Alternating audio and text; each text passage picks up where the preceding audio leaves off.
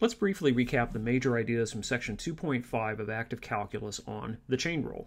The chain rule is a derivative rule that we use when we're differentiating a composite function. That is, a function in which the input passes through two or more steps of calculations, like links in a chain.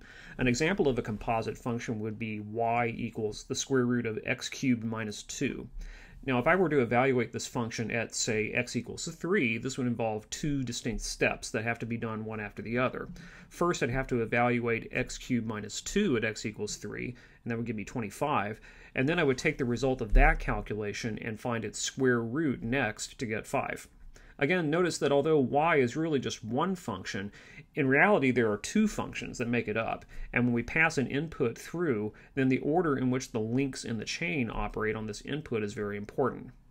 Back in high school algebra courses, we learned that in notational language, we would look at this composite function and let g of x equal x cubed minus 2, the first link in the chain, and then if we let f be the function that takes the square root, then y is equal to f of g of x. That's the function f that computes a square root with the function g of x plugged into it.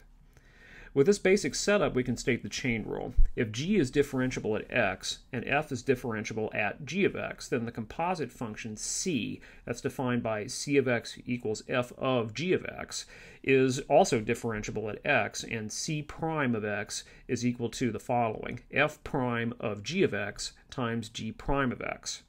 So in English, we are saying that the derivative of this composite function c of x, which is f of g of x, where g of x is the inside quote unquote function or the first link in the chain, and f is the outside function or the second link in the chain, then the derivative of c is f prime evaluated at the original g of x all times the derivative of g of x.